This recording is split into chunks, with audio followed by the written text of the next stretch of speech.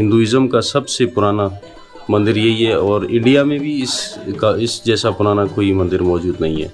India वाले भी यहाँ के लिए तरसते हैं। अच्छा। इंडिया वाले भी यहाँ के लिए तरसते हैं। ये है इंग्लैंड माता का मंदिर। और ये है बत्तीस लाख साल पुराना मंदिर। बत्तीस लाख साल सुनकर इंसान के मन में कई बातें आती हैं कि बत्तीस लाख साल पहले दुनिया थी क्या था क्या नहीं था। दुनिया में कदीमी में कदीमी पुराने में पुराना मंदिर ये है जिस जगह देवताओं ने वरदान दिया हुआ है महान उत्तम यात्रा का। महान उत्तम यात्रा को अरबी जबान में ट्रांसलेट करते हैं तो होता है हज। वो पैदल सफ़र शुरू होता है लोगों का। पैदल जो होता है वो शाबलती बिटाई के दौर से चलता हुआ है तीन सौ साल पहले। अच्छा। हाँ वो जो स्वामी थे वो पैदल आते थे अपनी मनोकामनाओं के लिए। इसलिए लोग जो हैं वहाँ थर मिट्टी छाछरों मुख्तलिफ़ एरियाओं से पैदल पैदल चल के यहाँ पे आके अब भी लोग आते हैं पैदल। अभी भी लोग आते हैं। पहले तकरीबन दस हज़ार के करीब थे फिर बीस हुए फिर तीस हुए अभी तो चालीस पैंतालीस के करीब है। हिराज माता का स्थान है जो ये समझो कि सबसे बड़ा तीर्थ स्थान है पूरे मतलब पूरी वर्ल्ड का पूरी दुनिया का सबसे बेहन स्थान बड़ा स्थान है तीर्थ स्थान। और जिसको पूरे दुनिया में पहला ये वायद किया गया है कि ये पहला स्थान है माता हिंगलाज का और सबसे बड़ा है। ये यात्रा सबसे बड़ी यात्रा है हमारी।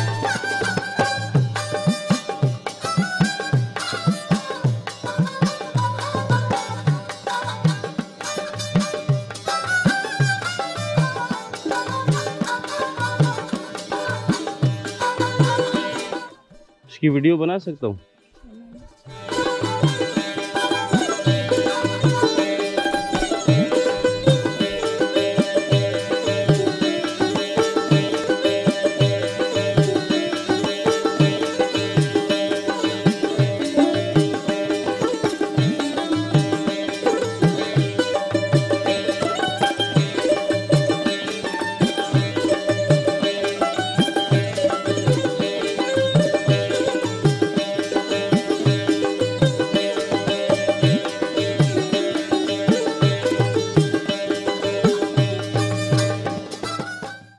हाथ हिला दें। ये नानी मंदिर से पहले ही छोटा सा एक मंदिर बनाया इन्होंने। ये इसका विज़िट मैं आपको कराता हूँ।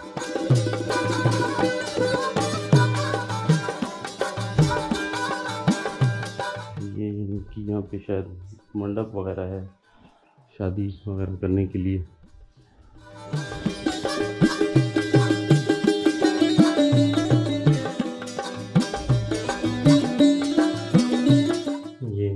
इनके की तरफ़ शायद तस्वीरें लगी हुई हैं।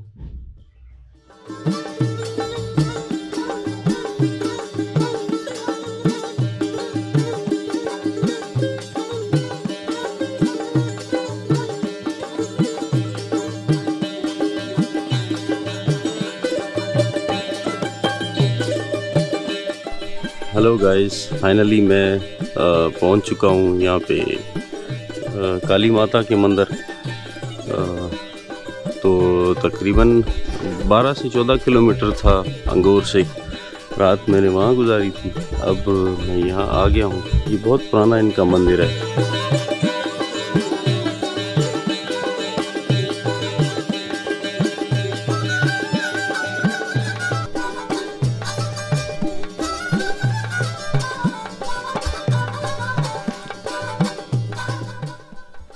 ये इनका छोटा सा एक स्नेक्स का साइन बना हुआ है।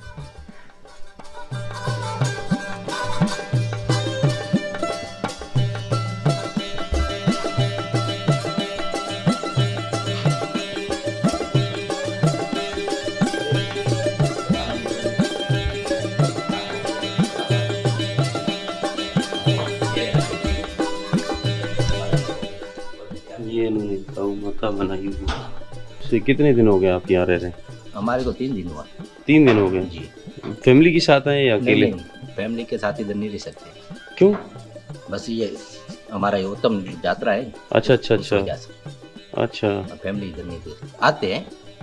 जाते वो फिर चले जाते हैं बस? चले जाते अच्छा। हैं सही सही। तो ये क्या इसको रसोई घर बोलते हैं? ये रसोई घर है या इधर ये माता का भोग पकाया है। चूरी चूरी बोलते हैं ना। अच्छा अच्छा। पता की तो मतलब रोज़ाना बनाते हैं? ये ये अभी नए साल आ रहा है। कोई त्यौहार आता है उसे देखा देखा देखा। ये कोई त्यौहार आता है उससे एक दो दिन पहले बना जाता है जैसे ये हर यात्री यहाँ पे आता है अच्छा। ये। माता का भोग है। ये मतलब सिंधी में इसको क्या कहते हैं? क्या कहते हैं? सिंधी में इसको रोट बोलते हैं। रोट बोलते हैं। अच्छा ये जो रोटी रोटी की तरह हाँ, पकाते हैं छोटा बिस्किट हाँ, की तरह? बिस्किट की तरह। ये प्योर घी से बना हुआ है। अच्छा। जी हाँ। तो ये यहाँ- यहाँ कितनी यहाँ जो भी यात्री आते हैं उसको ये दिया जाता है प्रसाद के हिसाब से। अ, कितने बनाते हैं आप? ये लोगों के हिसाब से अभी देखो हैप्पी न्यू ईयर है इस हिसाब से हमारे पास कितने लोग आएँगे इस हिसाब से बना पड़ता है। फिर अच्छा। अ, दस किलो बीस किलो दो कट्टे ऐसे बनाने पड़ते हैं। जैसे त्योहार बड़ा है तो इस हिसाब से इसको बढ़ाया तो अभी त्योहार बड़ा है? हाँ अभी ये हैप्पी न्यू ईयर है तो तकरीबन बीस तीस हज़ार लोग आएँगे इस हिसाब से बनाया हो। अच्छा। जी जी हाँ। ऐसे नहीं है इसको चम्मच में छोटा छोटा दो कागजों में लगा के। कितनी साइज़ में ये देते हैं आप? ये एक चम्मच के हिसाब से कागज़ में लगा के हर यात्री को दिया जाता है। अच्छा कागज़ तो पे हाँ कागज़ पे फिर वो घर पे लेके जाते हैं कि ये माता का प्रसाद अच्छा प्रसाद के तौर पर लेके जाते हैं।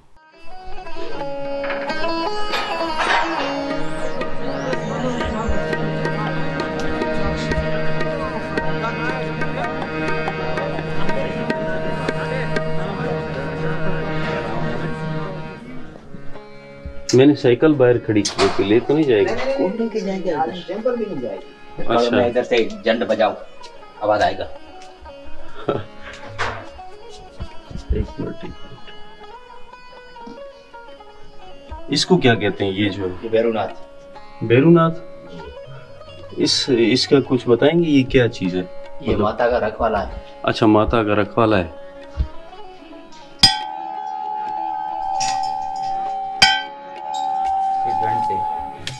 जैसे अंदर एंटर होने के लिए। अच्छा ये इसको बजाया जाता है? वेलकम अच्छा मतलब वेलकम या अंदर जो भी उसको बताते हैं कि कोई आ रहा है। ये कौन है? शिव। अच्छा ये माँ के? महादेवा शिव। अच्छा। शिव शंकर भोलेनाथ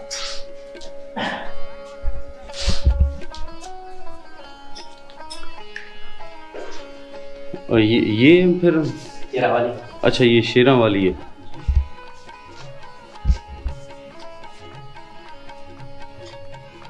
और इसके अंदर? ये सामने ये। ये सामने से अच्छा उस तरफ़ कुछ भी नहीं। आप जो जिसके नाम पे आया हो इंगराज पे नाम पे आया नानी मंदिर थे जी हाँ, नानी मंदिर के नाम पे। ये नानी है। अच्छा। जी। राज माता। हिंगलाज माता ये जो बनी में कहते हैं। नानी हाँ। नानी।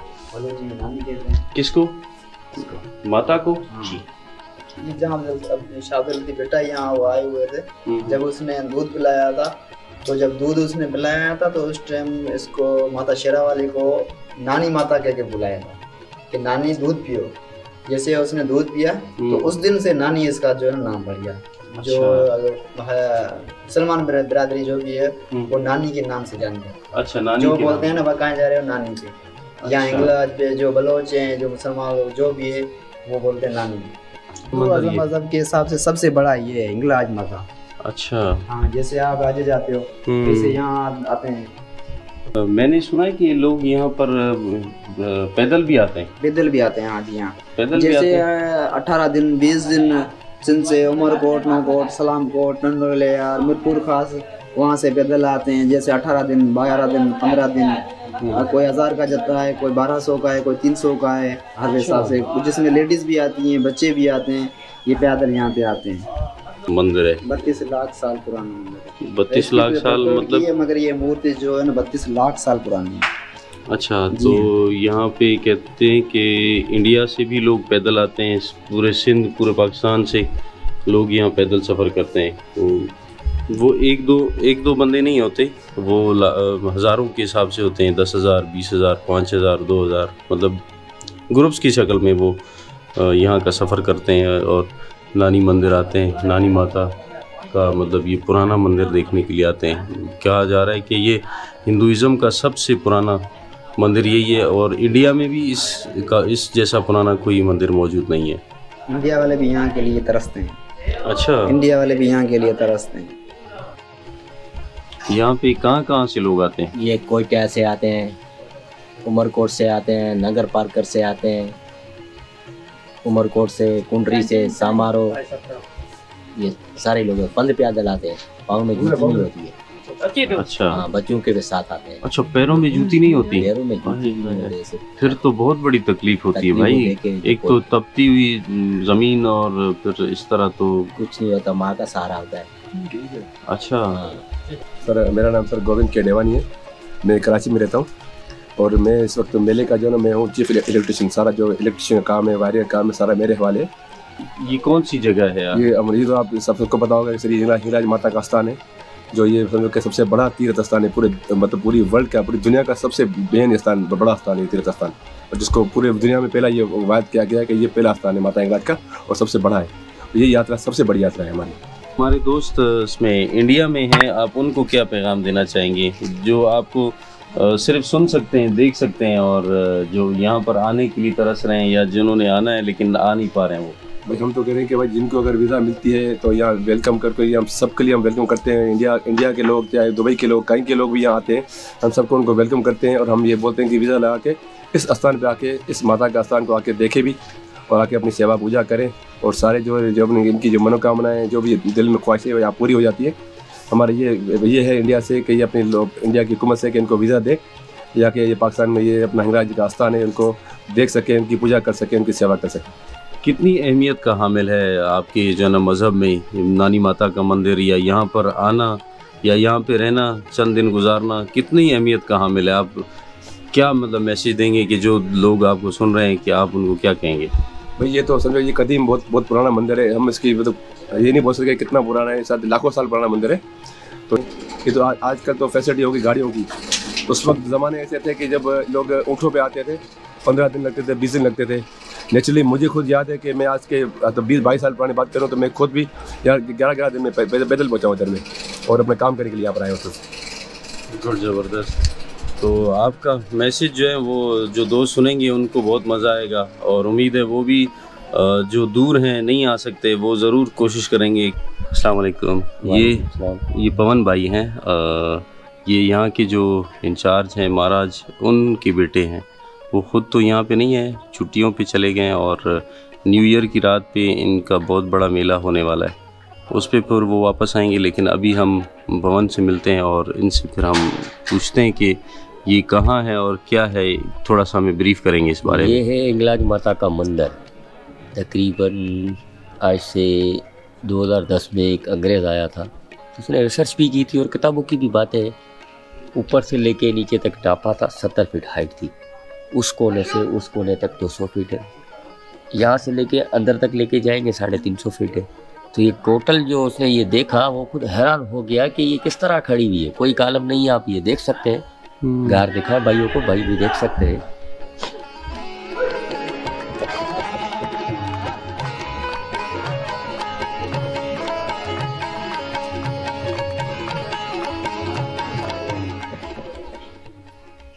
और ये मज़े की बात है, इसको कोई कालम नहीं है, कोई सपोर्ट नहीं है बगैर कालम सपोर्ट के खड़ी भी है। और ये है बत्तीस लाख साल पुराना मंदिर। बत्तीस लाख साल सुनकर इंसान के मन में कई बातें आती हैं कि बत्तीस लाख साल पहले दुनिया थी, क्या था, क्या नहीं था। तो इस तरह हमारी भगवान गीता जो बताती है, धरती की उम्र है एक अरब पचानवे करोड़ पाँच लाख एक सौ अठारह साल, यानी पानी कम हुआ, इसके बाद ये दुनिया बनी। इसके बाद चार युग बने, जिसको हम चार सदियाँ भी कहते हैं, चार युग भी कहते हैं। पहला युग सतयुग, जिसमें अवतार राम, लक्ष्मण, भरत पहला युग सतयुग जिसमें अवतार था शिव पार्वती गणेश कार्तिक इनका हुआ। इनकी उम्र बताई गई सत्रह लाख सत्रह लाख अट्ठाईस हज़ार साल। इसके बाद आया दूसरा युग जिसको कहा गया त्रिपिता युग जिसमें सीता हनुमान लक्ष्मण भरत इनके अवतार हुए। तो इनकी उम्र थी बारह लाख छियानवे हज़ार साल। इसके बाद तीसरी सदी है जिसको कहा गया द्वारपा युग। उसमें कृष्ण भगवान का अवतार हुआ तो हमारी भगवत गीता पहले लिख चुकी थी। उसको कंप्लीट आके कृष्ण भगवान ने किया। तो इसकी उम्र थी आठ लाख चौंसठ हज़ार साल। अभी चल रहा है कलयुग। कलयुग का महीना भाई भाई का नहीं होगा। पैसे के लिए लड़ेंगे मरेंगे पैसा ही बड़ी चीज़ होगा।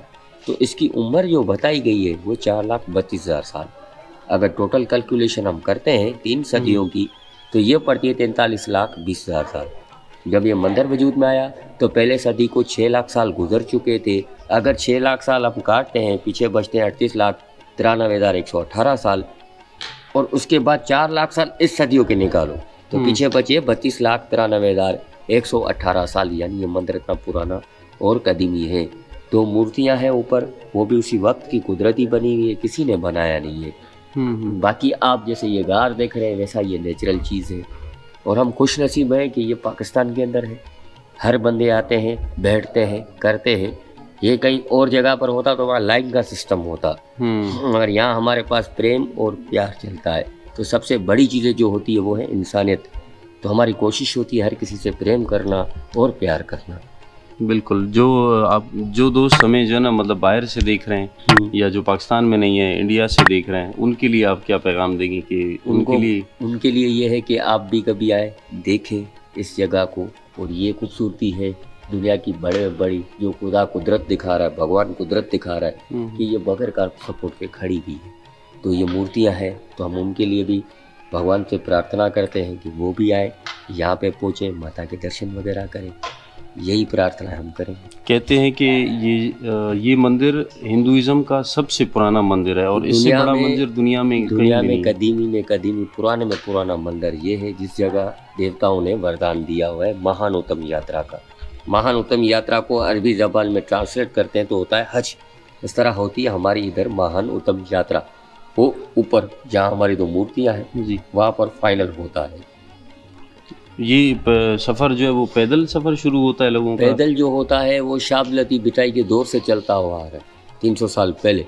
अच्छा। हाँ वो जो स्वामी थे वो पैदल आते थे अपनी मनोकामनाओं के लिए। इसलिए लोग जो हैं वहाँ थर मिट्टी छाछरों मुख्तलिफ़ एरियाओं से पैदल पैदल चल के यहाँ पे आके अब भी लोग आते हैं पैदल? अभी भी लोग आते हैं। पहले तकरीबन दस हज़ार के करीब थे फिर बीस हुए फिर तीस हुए अभी तो चालीस पैंतालीस के करीब है। अभी मेला जो अप्रैल में होता है उसमें हाँ। कितने लोग होते हैं? उसमें ढाई से तीन लाख के करीब पब्लिक होती है पाँव रखने की जगह नहीं होती है। तो ये फिर इतना बड़ा मजमा आप कैसे कवर करते हैं? तो ये लाइन लगती है। उधर से दर्शन करो इधर से करो फिर स्टेप बाय स्टेप चलते जाओ। पीछे से बैक साइड का रास्ता है दर्शन करते जाओ वहाँ से बाहर आओ। तो उसके बाद फिर ये यहाँ पे सिक्योरिटी वगैरह भी बिल्कुल सिक्योरिटी अलर्ट होती है और हुकूमत भी बहुत तावन करती है। और लोगों का इंतज़ाम कैसे संभालते हैं आप लोग? इतने लोग तीन चार लाख लोग जब आते हैं तो ये हमारी कमेटी है ट्रस्ट कमेटी है। ट्रस्ट कमेटी जो है वो सारा मैनेजमेंट वगैरह संभालती है। अच्छा। तो इतने लोगों की जगह बन जाती है वैसे? भाई देखो जगह तो दिल में होनी चाहिए। जब दिल में जगह बन सकती है तो यहाँ तो कुदरत ही बनेगी। काफ़ी सारी अच्छी इन्फॉर्मेशन उन्होंने दे दी है। मैं भी लाइफ में फ़र्स्ट टाइम ही आया हूँ और आके बड़ा अच्छा मज़ा आया है। यहाँ पे पॉन्ड्स भी हैं कुन जिसको कहते हैं यहाँ जमजम का पानी होता है तो सर हम उसको कहते हैं गंगा की धारा। वो चलती हुई आती है। जैसे आबे जमजम का पानी इतना कीमती होता है कि बंदे लेके जाते हैं घरों पर हम्म, और गिफ्ट करते हैं एक दूसरे को देते हैं। पवन इस धारा। तरह हमारे यहाँ इसको कहते हैं गंगा की धारा। अच्छा गंगा की धारा कहते हैं। ये इसका पानी भरकर जाके मैं- लोगों को देते हैं। सॉरी मैं उसको पवन की धारा कह रहा गंगा की धारा। की धारा। गंगा की धारा। ठीक है ठीक है। क्योंकि आपका नाम अच्छा है माशाल्लाह हम्म। बहुत खूबसूरत नाम है तो मेरी जबान पे वो चढ़ा हुआ है तो इस वजह से जो ना। नहीं इसको कहते हैं गंगा की धारा। अच्छा चलें आपसे मिलके बहुत खुशी हुई बड़ा मज़ा आया। आप भी आए हमें खुशी हुई आप चलकर आए और हमारे लिए बड़ी जो है बात होती है कि इंसानियत की। सही बात है। हमें ये नहीं पूछना है कि आप कहाँ से हैं किधर से हैं क्या है। इस वक्त आप इंसान चल कर आए हम्म, और भगवान कहता है मेहमानों की खिदमत करना। मेहमान यानी अतिथि अतिथि यानी भगवान। तो हमें तो वो समझ कर इसकी खिदमत करना है। बहुत बहुत शुक्रिया आपका आपसे मिलके बहुत मज़ा आया। उम्मीद है हो सकता है ज़िंदगी में मौका मिला तो मैं एक बार मेले में ज़रूर आऊँगा। अप्रैल का जो मेला होता है होती तो बहुत गर्मी है। हम्म, तो लेकिन फिर भी मैं कोशिश करूँगा कि मैं ज़रूर आ सकूँ यहाँ पे। बिल्कुल बिल्कुल। आप आना आपका स्वागत होगा। ज़रूर, इंशाल्लाह। बहुत बहुत शुक्रिया आपका। थैंक यू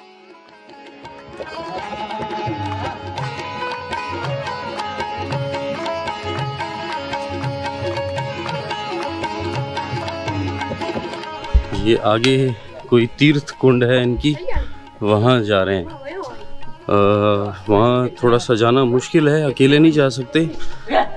तो इसके लिए जो ना मंदिर की इंतज़ामिया ने मेरे साथ बंदे भेजे। दो लड़के जो इस रास्ते को जानते हैं। तो अभी हम जा रहे हैं वहीं पे। आगे चल के आपको दिखाते हैं कि वहाँ पे क्या मौजूद है।